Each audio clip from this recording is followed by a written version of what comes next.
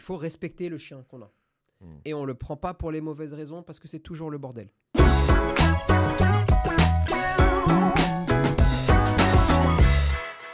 Salut bande de chiens, merci d'être là, content de vous retrouver pour un nouveau podcast, ça va Tony Ça va et toi? Bah ouais, ça va, aujourd'hui on va parler des chiens décisionnaires, les chiens non décisionnaires, ça peut paraître un peu, un peu des gros mots comme ça, mais vous allez voir que, ah, pour le coup, ça touche tout le monde, on Ouais. est d'accord de, de- de tout ça, de tout, on- de tout ce dont on va parler. Ouais, tu sais même pas de quoi on va parler. Bah non, euh, mais moi je suis là pour ça, moi j'en sais mais rien. c'est pas grave, c'est pas grave. Bon, on m'a dit chien contre, décisionnaire. Rends quand même euh, à qui de droit euh, cette expression, chien décisionnaire, non décisionnaire. C'est à qui? C'est à moi. J'invente des trucs. Voilà, c'est tout. Je les ai inventés. J'en ai rien à foutre. Ah ouais, il a Ouais, pris le mot décision, et c'est dit, tiens, décisionnaire, c'est un nouveau mot. Ouais, Écoute, d'accord. tout le monde invente des trucs, j'invente des trucs, c'est tout. Voilà. Euh, Tu veux faire des acronymes? Ouais. Le CPD, c'est le chien pas décisionnaire. voilà, faites gaffe au CD, au Voilà. CPD. Je vais vous Euh, révéler la technique secrète, le la- CPD. de- le CPD du RQ code. Je bon, vous voilà, écoute, c'est un délire. Bon, en tout cas, ça, non, mais on est d'accord que là, pour le coup, on va parler d'un truc qui touche tout le monde au quotidien, même. ses- Ah, y a pas le choix. vraiment, Y a pas le choix. Il n'y a pas le choix. Euh, malgré ce, c'était, ce gros mot donc, que tu as décidé d'inventer pour faire comme les autres pour paraître plus intelligent, mais après ça c'est voilà. Bon bref, en tout cas, quoi qu'il arrive, on va parler chiens comme tous les lundis soirs euh, dans ce podcast. Peut-être que vous êtes sur YouTube, et ben commentez tiens si vous vous retrouvez dans euh, ce dont on va parler. N'oubliez pas aussi de, de noter le podcast hein, sur toutes les plateformes d'écoute, Spotify, sur Deezer, sur Apple Podcast. Mettez les petites 5 étoiles et ça nous fait bien plaisir. Alors, chien décisionnaire, euh, décisionnaire, chien non décisionnaire. Ouais. Euh, qu'est-ce que. vra- Vraiment simple, très simple, en une minute. Après, on rentre dans le détail, mais c'est qu'est-ce que c'est? Bon, déjà, t'as oublié deux catégories, d'accord? Mais bon, Non, non, mais j'ai rien pas. oublié du je tout. t'en veux pas, je t'en veux Bon, pas. on m'a dit le titre du podcast c'est ça. Tu m'expliques. Après, je pose les questions que les gens se posent. Moi, je ne suis qu'un, je ne suis qu'un ici. Je ne suis que le bouffon euh, du roi. Mais si, ah, di- di- dites-nous, arrose-nous, saccage-moi de ta sachette. Bon, allez, allez, allez, on y va. Écoute, on pourrait répartir en quatre groupes les chiens. Très bien. Décisionnaires, non décisionnaires, hybrides, ils sont un peu des Oh, deux, bâtard. Ouais. et rien à foutre. D'accord. Voilà, Euh, genre. euh, Euh, Marley. bah, ah ouais, ouais, bah Euh, voilà. ouais, c'est, voilà. marrant. À chaque fois qu'il y a rien à foutre, c'est Marley qui sort. Hein, quand même, on va pas se mentir. Écoute, qu'est-ce que tu veux que je te dise? Bien. Non, alors, il y a le rien à foutre. Ouais. Le rien à foutre, c'est, bon, c'est le chien. Il pourrait lui tomber euh, une montagne sur la tête qui s'en rendrait pas compte. C'est vrai. Il s'en fout, il se pose pas de questions. Euh, C'est le chien cool, quoi. ouais, la vie avance. Le chien qui t'emmerde pas. Non, jamais. Voilà. Lui, il t'emmerde jamais. Il est Même né si pour tu pas fais des erreurs. Et donc, il s'en fout. Dieu sait que j'ai fait des erreurs avant de te connaître et, pourtant. il bah, s'en fout. C'est Ouais, le chien qui s'en fout. Donc, lui, hop là, on le met de côté. Ensuite, décisionnaire, non décisionnaire. Alors, ouais, euh, concrètement. Concrètement, les chiens décisionnaires sont des chiens qui sont habitués, de par leur histoire, d'accord, à prendre des décisions par eux-mêmes sans humain. Sans humain. Type. Euh, euh, Type euh, protecteur de troupeau. Le patou. Tu sais que tu Ouais. trouves le, le le montagne chien des, Pyrénées, ouais, d'accord ouais. Ok, le grand blanc là, tu vois. Bon, et ben lui, il a été habitué tout au long de son histoire à être en haut avec le troupeau. Et puis il y avait, il y avait son père, c'est-à-dire que Il n'y a pas ne- d'humain en fait. il y a pas d'humain. Et il ne guide pas le troupeau, Ouais. contrairement aux chiens de berger, Ouais. mais lui, il protège le troupeau d'éventuels prédateurs. Ah, on peut. C'est Est-ce qu'on peut dire un peu. C'est, ça, c'est chien autonome? On on peut Ouais, euh, un peu raccourcir le truc comme ça? Ok. habitué à fonctionner en autonomie, d'accord? Voilà, il n'a pas besoin Il que tu lui truc- demandes. Non, il n'a pas besoin que tu lui demandes. Hmm. La plupart du temps, ces chiens-là sont un peu plus euh, lents dans leur façon de faire les choses, plus posés. Euh, ils ont le pas plus lourd. Tu vois un petit peu le, le truc? Ça veut dire qu'ils réfléchissent plus? Ça veut dire qu'ils sont au courant de ce qu'ils ont à faire. Ils sont relativement souvent très impressionnants, très, très gaillards. Ouais. Et ils vont vivre avec l'humain, Ouais. partager des choses avec l'humain. Mais là, eux, il va falloir plus les amener sur du mouvement d'intention, sur de la façon d'être, plus que t'en feras pas un chien robot. Ouais, ouais, Hein ouais. Plus Euh, que sur de l'obéissance pure et dure. Quoi. Voilà, ça, exactement. Alors que le non décisionnaire, donc alors ça c'est quoi? Le non décisionnaire, c'est un chien qui a besoin de son maître, d'accord, Ouais. pour lui dire comment penser, comment voir la vie, comment faire les choses. Et alors après, tu as les ultra non décisionnaires, le malinois. Ok. Ah, le malinois, typiquement, d'accord, Ouais. il est devenu un ultra non décisionnaire, c'est-à-dire que lui, il a besoin que son maître lui dise tout. Quoi faire Et une fois que son maître lui a dit, il prend des décisions. Attention, hein. Oui, oui, Il- oui. il est pas... Un, un non décisionnaire n'est pas un chien qui ne peut pas vivre euh, sans que tu lui dises quoi faire. Simplement, tu lui dis, c'est imprégné, on avance. Ok. Parce qu'il est plus con Non? Parce que de, de par son profil, de par euh, son histoire aussi, hein, Ouais. euh, le chien de berger a toujours travaillé avec un berger. Oui. Et on guide le troupeau, on l'amène d'un point A à un point B, et ainsi de suite, Ouais, d'accord? ouais. Le chien euh, décisionnaire, non, lui, il a été habitué à être un peu solo. Solo, solo même. hein. Donc, de par nature, tu en as un. Faut pas lui prendre la tête avec des trucs qui ne servent à rien, d'accord Ouais. Les assis, les couchés, les pas bouger, il, il peut les apprendre. hein. Oui, oui, oui. Mais ça va vite le fatiguer. Et c'est pas comme ça que tu vas créer quelque chose avec lui. Ouais. Contrairement à- au non décisionnaire, Mhm. qui lui va apprécier la plupart du temps euh, faire de l'OB avec toi, Ouais. mais qui va surtout avoir le besoin vital que tu prennes les décisions pour lui. Ok. Et ça, c'est très important. Ok. En gros, sur un non décisionnaire, d'accord Ouais. Si tu ne prends pas les décisions, il va donc les prendre. Oui. Il n'y a pas le choix si tu les Oui. prends pas. On comprend le malinois, par exemple. Par exemple. Ouais. Sauf que il n'est pas fait pour décider à ta place. Alors, ça veut dire concrètement, euh, concrètement quoi Quelle Ça veut- décision on peut lui dire de prendre Enfin, quelle décision il va prendre tout seul si on lui dit pas? Ça veut dire que concrètement, si tu lui expliques pas comment doit être fait la vie, d'accord Ouais. Avec, euh, eh bien, les humains sont gentils, par exemple. Ouais. Si tu lui expliques pas les que les humains sont gentils, Ouais. si tu commences à le mettre beaucoup trop en avant, d'accord, et toi beaucoup trop en retrait en termes de maître, et que tu le laisses prendre des initiatives sans jamais rien lui demander, rien lui expliquer, rien lui montrer, eh bien, il a beaucoup plus de probabilité de se tromper dans la décision qu'il va prendre qu'un chien qui est habitué en fait à prendre des décisions par lui-même, Ouais. qui est beaucoup plus posé, et donc qui va prendre le recul nécessaire de l'observation de l'environnement et Qui va lui estimer si euh, l'humain est gentil ou pas. Alors que, alors que le malinois, par exemple, tu as besoin de lui expliquer, le malinois, tu as besoin de le guider. de le guider. Et il a besoin d'avoir papa ou maman, et Mm. il jette un coup d'œil, et eh, qu'est-ce qu'on fait? Ouais. Eh bien, s'il trouve pas ce coup d'œil, il va faire comme il pense. D'accord. Et Il va devenir décisionnaire. exactement, Il va prendre des décisions. en tout cas. exactement. Ok. Et il est moins fait pour ça Ouais. Que d'autres. C'est pour ça qu'il prend des mauvaises décisions. C'est pour ça qu'il peut prendre de- des décisions qui sont plus mauvaises que certains autres chiens si jamais il n'a pas de maître. Mais d'où ça vient ça? Parce que euh, le, le patou, par exemple, qui est en montagne, Ouais. tout ça, qui voit pas de- plus d'humains que ça, parce que bon bah il est en montagne, ou je sais pas, et qu'est-ce qu'il y a d'autre comme euh, race non décidée Oh, tu peux de- avoir le berger du Caucase, tu peux en avoir ouais. plein, t'as le Kangal le aussi. Kangal, tout ça. Ok. hein. Voilà. Euh, ces chiens-là, si on, ça veut dire que ces chiens-là, instinctivement, ils peuvent, ils prennent les bonnes décisions. C'est-à-dire que le chien, le- le- l'humain est gentil, l'humain est gentil. Pas forcément, ça veut dire que ces chiens-là ont plus de facilité à prendre les bonnes décisions parce qu'ils sont euh, génétiquement, si tu veux appeler ça comme ça, d'accord, ouais, ouais, ouais. plus habitués naturellement, d'accord, à décider, à prendre le temps d'observer et à prendre le temps de voir comment vont se passer les choses, Ok. d'accord C'est, ils sont ni plus intelligents ni moins intelligents, mais ils sont plus habitués à ce genre de choses. Mais pareil, hein, tu demanderais à ces chiens-là, euh, ces chiens-là sont incapables de faire ce qu'un malinois fait, par exemple. Ouais. Le malinois, il a besoin qu'on lui explique comment ça va se passer la vie. Et après, par contre, il peut se driver. Hein. Oui, oui, oui. Attention, oui. hein, euh, Ouais, en fait, c'est pas, un les assisté- extrêmes. Non, c'est pas voilà. un assisté jusqu'à la fin de sa vie. En Hein. gros, c'est pas, c'est pas euh, le patou. Tu lui dis jamais quoi faire et il prend toutes les bonnes décisions. Et le malinois, tu dois lui dire de respirer et de manger. Quoi. Absolument. on n'est pas dans ces extrêmes-là en fait. C'est Absolument. plus fin que ça en fait. Parce que d'un côté, eh ben, ils ont quand même besoin d'avoir un humain pour Ouais. leur dire comment ça fonctionne. Bien sûr. Et plus tu les sors de leur milieu naturel, plus ils vont avoir besoin de l'humain et moins ils seront performants dans le côté décisionnaire. Attention, Oui. le patou, tu le mets sur un pâturage tout en haut. Ah, alors là, il va se driver Oui. du moment qu'il est né là-bas, qu'il est né dans la bergerie, Oui, qu'il oui, oui, qu'il est habitué. sûr. ouais, ouais. Maintenant, quand tu l'amènes en centre-ville, euh, attention, là, il va. dé- On dénature le. Eh son oui, et donc les décisions sont plus dures à prendre pour lui parce que moins naturelles, d'accord Ouais, ouais, Bon. Donc voilà un petit peu les, les, deux, Ok. les deux grands exemples. Euh, c'est vrai, le patou est un décisionnaire, Ouais. le malinois un ultra non décisionnaire maintenant, Ouais, d'accord ouais. Surtout que on a travaillé avec le malinois aussi après sur de la protection, sur, sur d'autres aspects euh, qu'il avait au départ. Et résultat, on en a fait vraiment un chien qui a besoin de son maître. Il a besoin vital, un besoin vital de son maître et de savoir ce qu'il doit faire, d'accord Bon, une fois qu'on a dit ça, on a les hybrides. Hmm. Les hybrides, c'est ceux qui guident le troupeau Ouais. et qui le protègent aussi ou qui l'ont aussi protégé. Ok. Tu as des chiens comme ça qui ont des doubles casquettes. D'accord?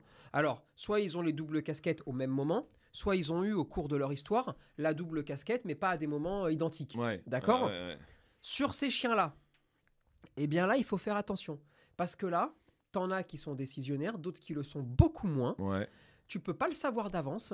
Dans une même portée, tu peux en avoir 10 devant toi. Eh ben, tu en auras 7 qui seront Ils plus ça, décisionnaires, ouais. 3 non décisionnaires, d'accord Et ensuite, tu as les profils de ces chiens-là, d'accord Là, qu'est-ce qu'on fait? Déjà, il faut prendre du recul là-dessus, en se disant que, quoi qu'il arrive, on va partir du principe que n'importe quel chien qui vit dans le monde des humains, zone urbaine, Oui. il a besoin d'un maître, Oui. qu'il soit décisionnaire ou non. D'accord Oui. Ensuite, une fois qu'on a dit ça, il y a la partie où il y a des chiens qui ont besoin d'avoir un maître qui, par son attitude, par sa façon de marcher, par sa façon d'avancer, va rassurer plus que d'autres. Mm. D'accord? Mm. Il faut des maîtres qui soient sur d'eux, qui soient au courant de ce qu'ils sont en train de faire. Et tu as des chiens que tu ne dois pas, c'est même pas que tu ne peux pas, c'est que tu ne dois pas saturer d'obéissance, Mm. que tu ne dois pas gonfler, que tu ne dois pas amener dans des clubs canins.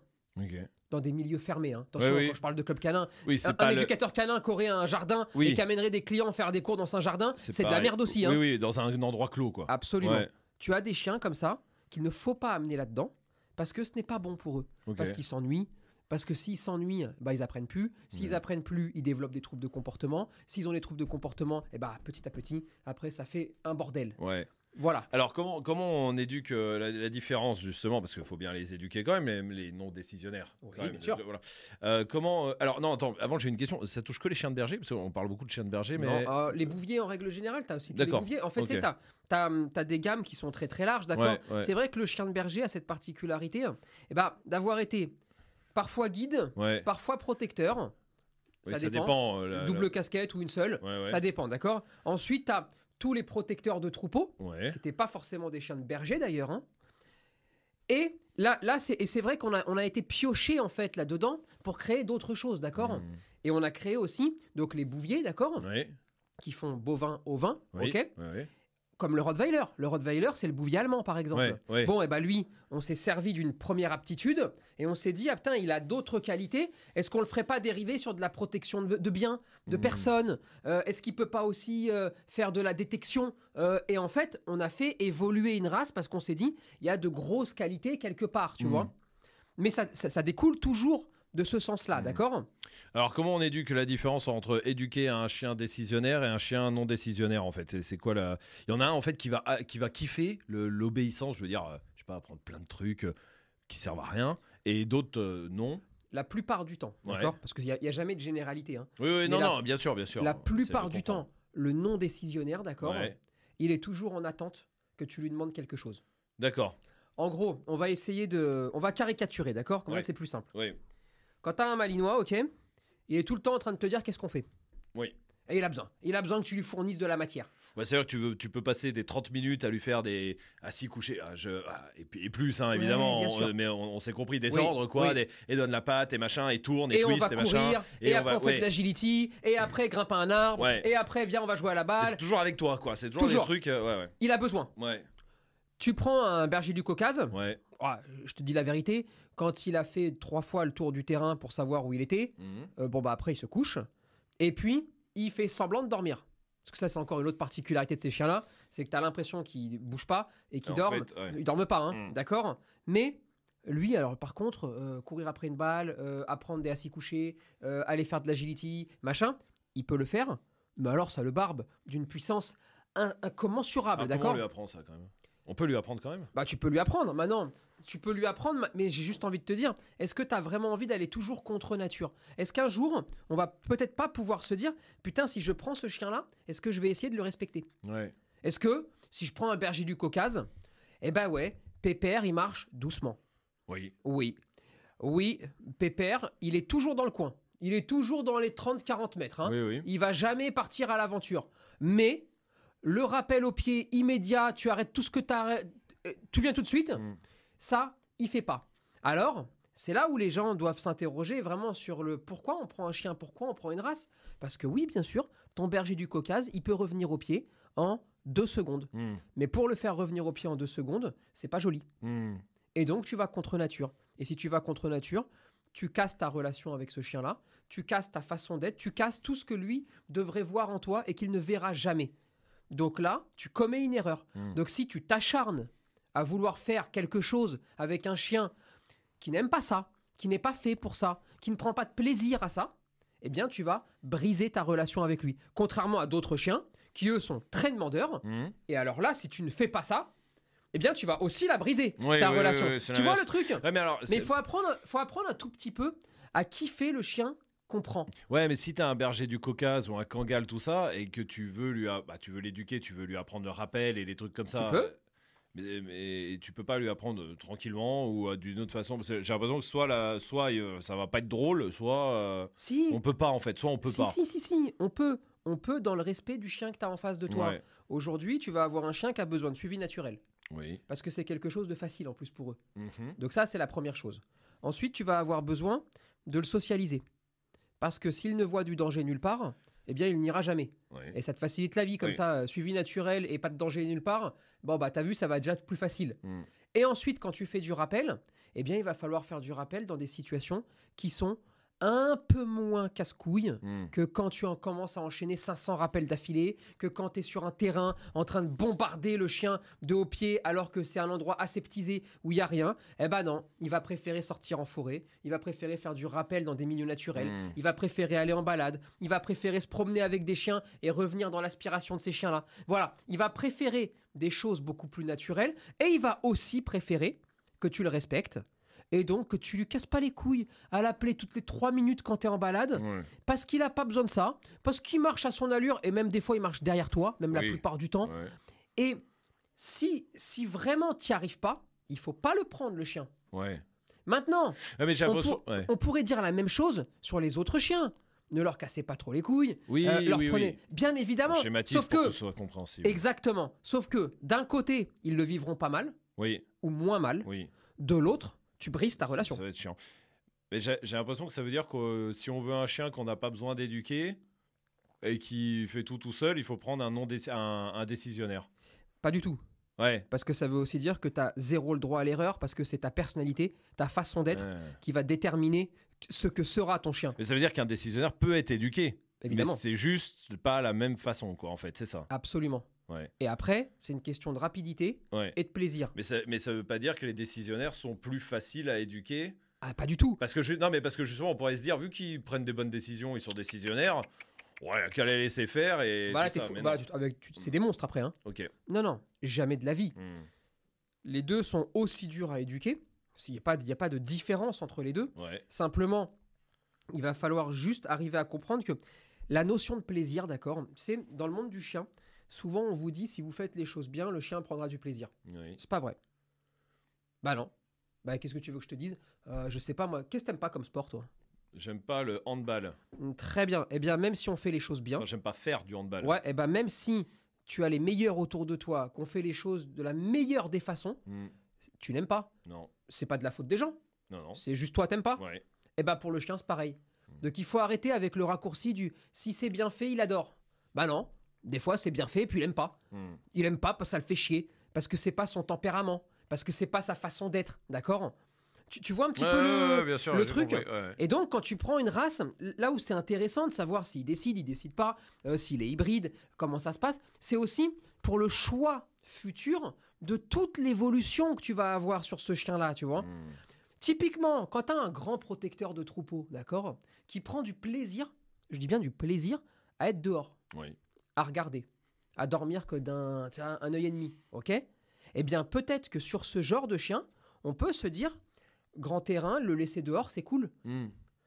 Pas que, hein Déconnez Oui, pas, non, hein non, oui. Parce que s'il voit pas le monde extérieur, vous êtes cuit, hein il, va, non. il va bouffer tout le monde. Balade- Mais- Non, mais au lieu de le rentrer à la maison Ouais. euh, quand on le balade pas, C'est ça peut-être le laisser dehors, c'est mieux. Ouais, Hmm. parce que lui, il va travailler, en fait, il va réfléchir, travailler, penser en étant dehors et en donnant l'impression qu'il dort. Hmm.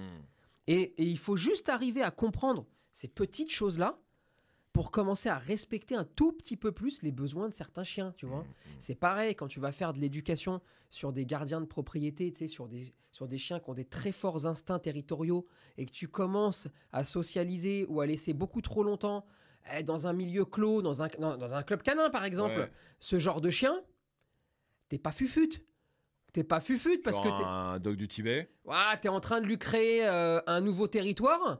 Donc Pépère, Dog du Tibet, quand il va commencer à avoir ses deux ans, si tu le fous là-dedans pendant une heure, Ouais. il va penser que c'est chez lui. Le premier, le premier qui va rentrer, si t'es un peu fébrile, il te liquide. Et- hein. ouais. Ou en tout cas, il développe un trouble. Et puis après, on va dire, ah, il a un trouble. Ouais. Alors après, on va commencer à faire n'importe quoi. Et c'est le bordel. Hmm. Moi, je crois qu'il faut ouvrir sur le monde ces chiens-là en leur disant, attention, regarde, il y a chez toi, et puis il y a le monde, d'accord Ouais. donc, euh, chez toi, c'est chez toi. Mais n'oublie pas que quand je suis là, c'est moi qui y vais, d'accord Et Mhm. pareil, regarde, autant il va y avoir des chiens, pas bouger, tu te mets sur le côté, tu vas ouvrir la porte, t'accueilles les gens, c'est nickel, Ouais. d'accord Et bah sur certains autres chiens, il faut surtout pas le pas bouger. Il faut y aller avec.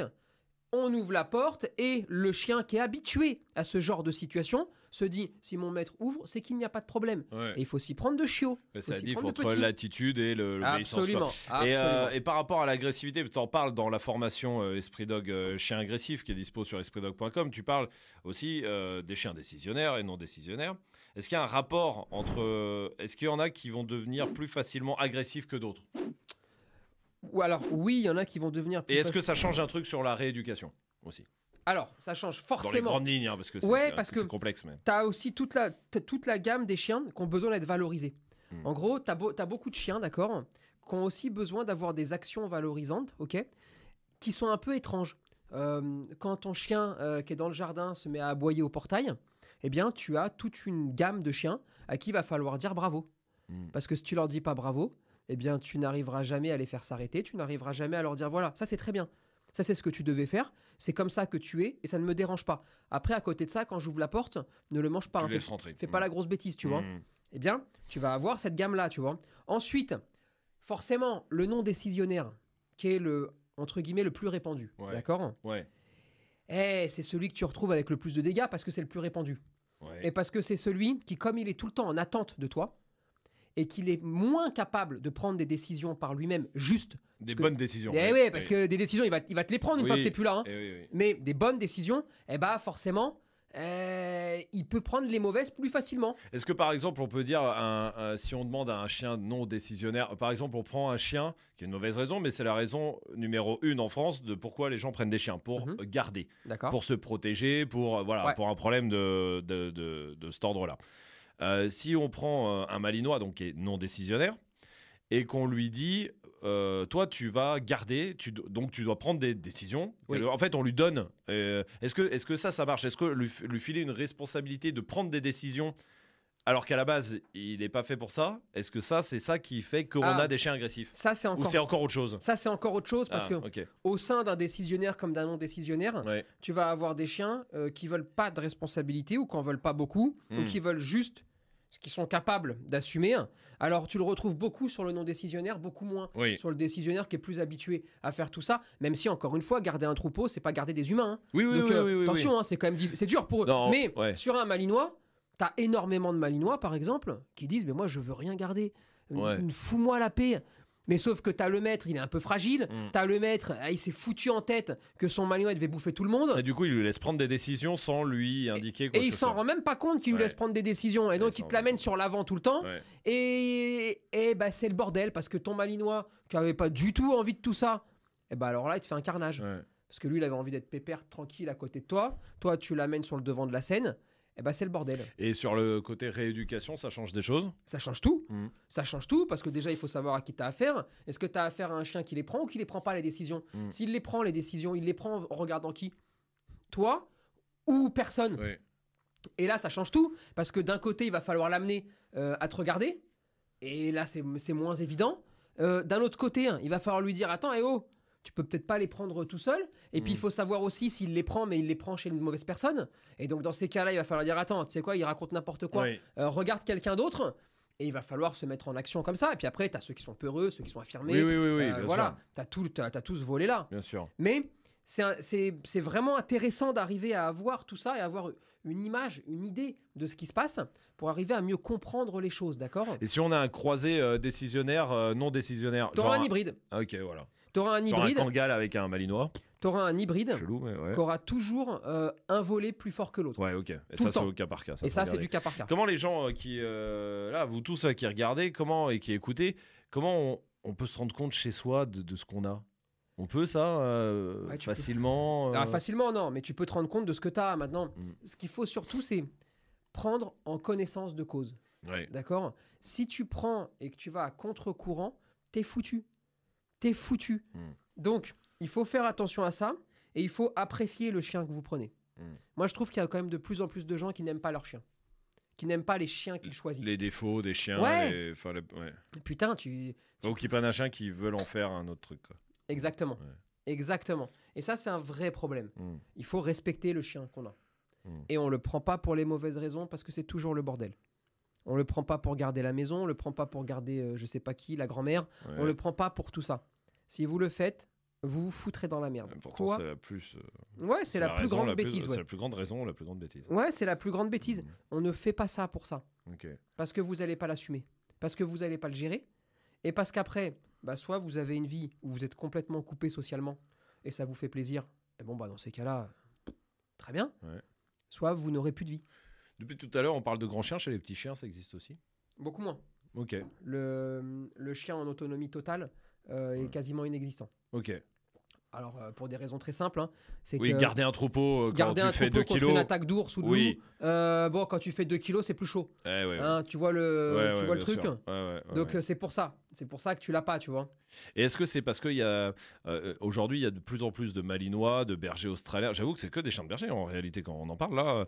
De, Parce que ça se rapproche beaucoup plus d'un mode de vie qu'on a envie d'avoir, que l'humain a envie d'avoir, à savoir un chien robot. Ouais. Eh, c'est vrai. Ouais. Euh, quand, quand tu vas avoir un chien, tu as envie de lui apprendre des trucs. Oui. C'est bien d'ailleurs. hein. Sauf que pour apprendre, ça va plus vite, d'accord? Parce que c'est plus demandeur, parce que c'est plus nerveux, parce que c'est plus speed Mm. sur un border euh, que sur un caucase. Tu, tu vois le- Ouais, l'état ouais, d'esprit? Donc les gens vont partir là-dessus, tu vois? Et bon, bah après, c'est comme ça. Qu'est-ce que tu veux que je te dise euh, c'est- Ouais, et c'est pour ça qu'il y a plus de bergers australiens ou de malinois ou de tout ça qui sont un peu ouf, qu'on trouve avec des problèmes. Ben, ils ont des grands besoins. Ouais. Et ils ont besoin d'avoir des maîtres qui sont parfaitement au courant de ce qu'ils vont faire. ouais. Euh, et puis, ils sont plus nombreux. Euh, pff, Oui. je sais pas Aussi, si on oui. peut prendre ce raccourci-là, parce que je te jure que si tu fous euh, euh, 50 000 bergers du Caucase dans la rue, Oui, là, maintenant, oui. demain, Oui. euh, autant, on va se dire c'est le bordel, fuyez, restez chez vous, parce qu'il va y en avoir les trois quarts qui vont vous bouffer quelqu'un, tu vois. oui, oui, oui. Donc, oui, ils sont plus nombreux. C'est toujours proportionnel. Et ça aussi, il faut que ça soit entendu un petit peu dans le monde du chien.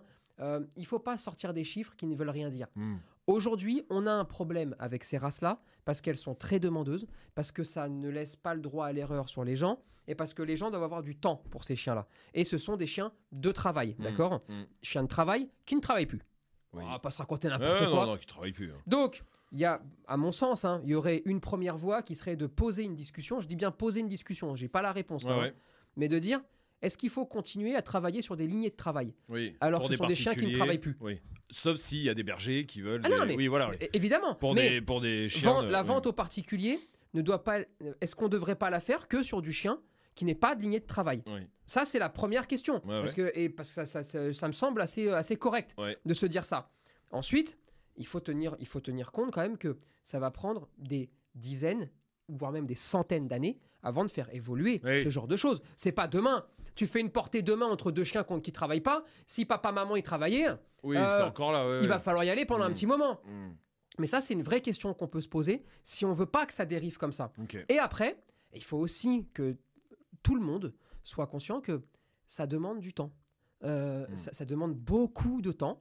Et alors, bah, selon le chien, selon le spécimen que tu vas avoir, tu as des bergers australiens, euh, on en a une tonne, ils font leur heure de balade, ils jouent avec des potes, ils rentrent, pff, tout va bien. T'en as d'autres, ils peuvent rester dehors 8-10 heures. Ouais. Parce qu'ils Ouais. sont habitués, ouais. en plus. Et ils donc, kiffent. eh, ils kiffent, mais ils en ont besoin. Ouais. Et si tu leur donnes pas, eh ben, ils s'occuperont de ton intérieur, Ouais. ils développeront des troubles de comportement, euh, ils vont être insupportables. Et quand un chien est insupportable, eh ben, tu disjonctes Ouais. et tu perds le plaisir. Donc il faut quand même... un- Donc faut Et observer. Et pareil, hein, euh, n'allez pas me foutre un kangal dans le jardin parce qu'il adore euh, être dans un jardin. Euh, c'est Oui, pas, ce qu'on a dit. C'est hein. pas ce qu'on a dit. non, non, hein, non, euh, jamais de la vie même. hein. Non, non, c'est-à-dire que bah, le chien, il sort le temps qu'il faut qu'il sorte pour ses besoins, on fait tout ce qu'il faut. Il prendrait Mais- plus de plaisir. Au-delà, mais à, à- à la place de le foot au coin du feu, par exemple, hein, si j'ai bien compris, eh ben, on le met dehors parce qu'en fait, il kiffe. Exactement. Mais, mais la vie autour de ça Ah, il- reste il la faut qu'elle existe. Évidemment, très bien, parfait. Et Très bien. Ah bah, si vous voulez en savoir plus, en tout cas pour euh, éduquer votre chien, quelle que soit la race ou pour euh, la rééducation, aussi il y a toutes nos formations hein, sur espritdog.com, Esprit Dog euh, Show, Esprit Dog Family, Esprit Dog euh, Chien Agressif, Esprit Dog Pro aussi, qui va loin, beaucoup plus loin techniquement. Vous pouvez retrouver toutes ces formations sur espritdog.com. Et puis on se retrouve lundi pour un prochain podcast. Alors Eh ben, pas eh souci. merci, bonne soirée ou bonne journée. Ça dépend un peu l'heure qu'il est. Ça on sait pas. Ah bah oui, salut bande de chiens.